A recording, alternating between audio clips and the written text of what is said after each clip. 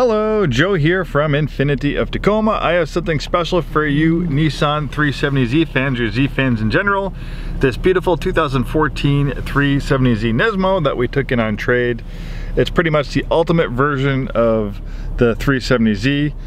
I love it. It really is a focused, uh, pure sports car. You can't get much purer than this.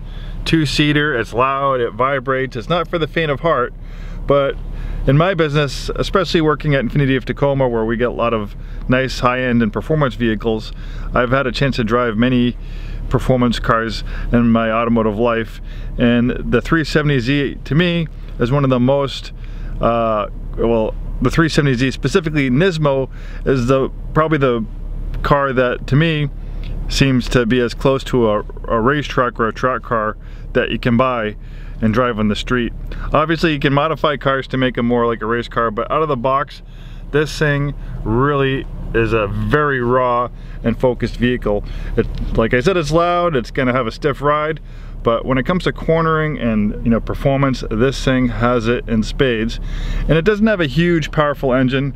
If you're looking for like a super rush of acceleration something making four or 500 horsepower you're not going to get it with a 370z uh, the power delivery of the VQ engine is very linear. It's still quick 0 to 60 in five and a half seconds but doesn't have that raw doesn't have that super low end torque of like a big V8 and uh, I think for a track car, uh, it's perfectly balanced. I think the chassis, the way the vehicle's set up is perfectly tuned to 350 horsepower and that type of situation. If you have five or 600 horsepower in this vehicle, it's just gonna overpower the chassis and it's not really gonna make it, it might make it faster in a straight line, but on talking about track performance, it's not going to be quite as balanced. Of course, there's lots of upgrades, superchargers and turbos and stuff that you can do to eke out more power on the 370Z.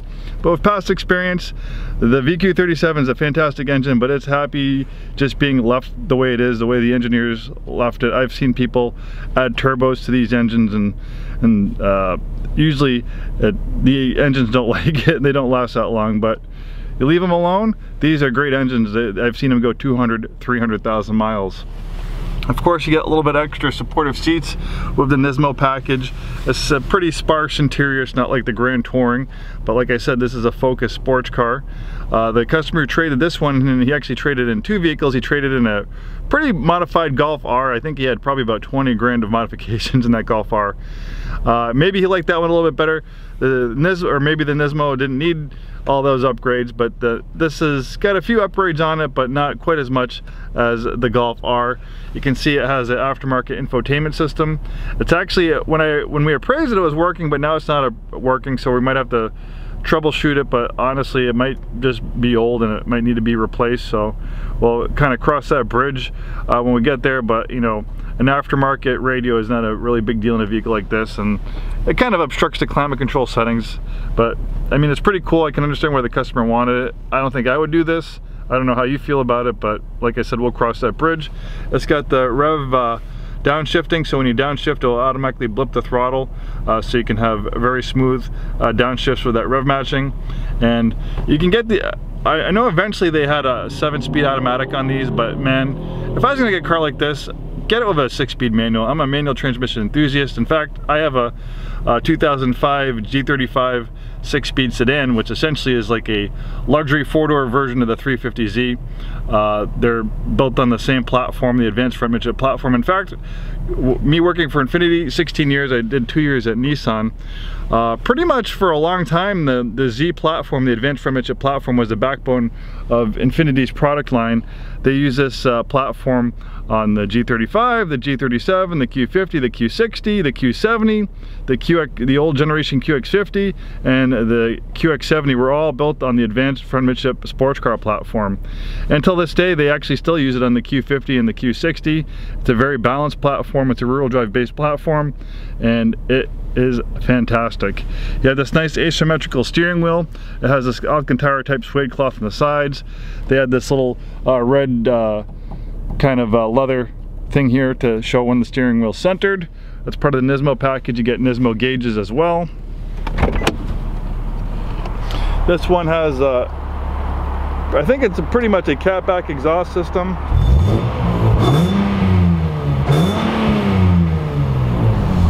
Looks like it has uh, aftermarket headers on it. I know part of the Nismo exhaust system comes from the factory, but the customer I think added some other aftermarket elements to the exhaust system. It might also have uh, some coilover shocks on it. I'd have to double check that um, on the build list. But the uh, 370Z Nismo comes with a factory body kit and it's not just uh, designed to look good, the uh, body kit improves the uh, downforce and performance of the 370Z. So obviously the spoiler, the rear bumper, this is all exclusive to the Nismo package. You have these huge uh, Nismo uh, pipes coming at the back. And uh, you can see this is Fairlady. Uh, that's actually what they call the Z in Japan. Uh, way back in the day when they were, were, talking about bringing the original Z over to the US, uh, the market analyst, probably a good idea, was finding, okay, the, the name Fairlady works for a sports car in Japan, but you know, when you're trying to compete with Porsche and, you know, break into the US market, having a sports car called a Fairlady doesn't sound good quite well in the English market, so they called it the, uh, the 280Z, and uh, the Z name has stuck ever since. But some people paying homage to the JDMZs, they like to, to rebadge them as Fairladies. So that's why they do that. Of course, you get these amazing Rays uh, alloy wheels. These are really expensive wheels. If you're gonna buy these themselves, they'd probably cost a fortune thousands of dollars to get these on the used market, but these come standard with the Nismo. You get bigger brakes. Uh, he added uh, some extensions to the uh, to the side sills. These gray accents. That was an update for 2014 on the Nismo. Before the whole uh, Nismo body kit was monochromatic on the previous ones, but they added some gray accents and some red accents on the mirrors in there for 2014 just to kind of make it pop a little bit better. And they also uh, did this with updates to the uh, the Juke version the Nismo version of the Juke which kind of had similar styling but this is this is a way better performance vehicle than a, a Nissan Juke.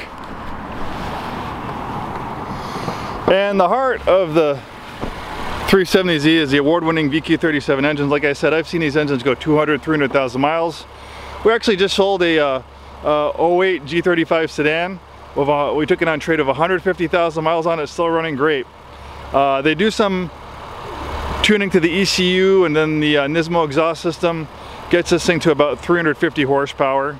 Um, a good amount of power for a vehicle like this. Like I said, it's not gonna push you back in your seat, but it's a good balanced amount of power to keep this thing fun to drive. You can push it hard and you don't have to worry about this thing biting you too bad. Obviously, you have to you have to know what you're doing if you're gonna drive a car like this aggressively because it can turn, turn around and bite you if you don't know what you're doing or if you shut the traction and stability control system off.